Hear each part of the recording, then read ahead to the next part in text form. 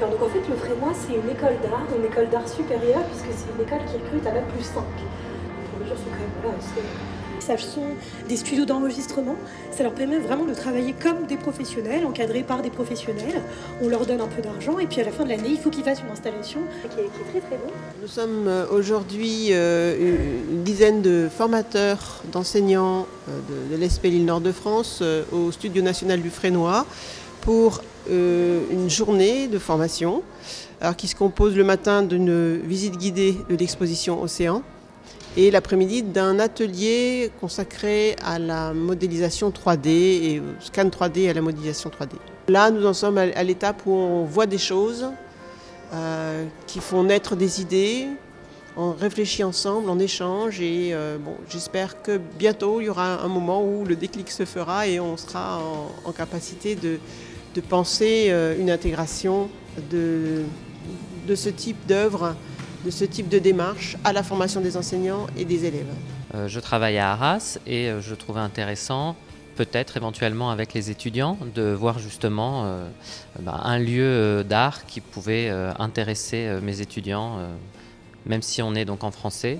Euh, les liens avec euh, l'art, euh, les arts numériques peuvent être intéressants à travailler avec eux. C'est intéressant de travailler avec justement les futurs enseignants pour leur montrer comment travailler ben, des compétences en français, d'écriture, d'oral, à partir d'œuvres artistiques qui soient à la fois anciennes mais aussi contemporaines.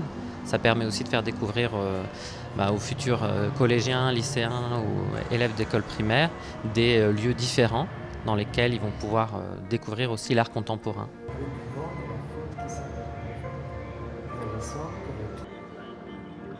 C'était l'occasion de découvrir quelque chose que je ne connaissais pas du tout, déjà le lieu.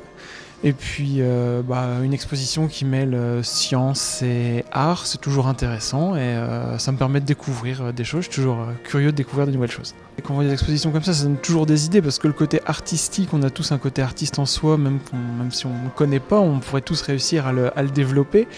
Et y mettre quelque chose de scientifique avec un vrai fond derrière, oui, oui, ça donne envie de soit de mettre en place des ateliers ou des, des expos un peu de la même manière, euh, artistique, scientifique, qui délivrent un message, soit de pousser les gens à venir euh, dans des ateliers pour créer une exposition ou leur faire participer à une activité dans ce genre-là. C'est toujours un enchantement, une découverte. On est d'abord très très bien accueillis ici au Frénois. Et puis euh, voilà, c'est toujours un moment assez spécial parce que finalement il y en a relativement rarement dans notre métier d'émerveillement et, de, de réception comme ça, de- de- de- d'émotions, de, sensations, euh, en même temps que voilà, on réfléchit tous, euh, toutes et tous un peu dans, en même temps à tiens qu'est-ce que je voilà, qu'est-ce que, quelle piste ça pourrait donner. Mais avant tout, on est, c'est une immersion un petit peu dans quelque chose de, d'autre.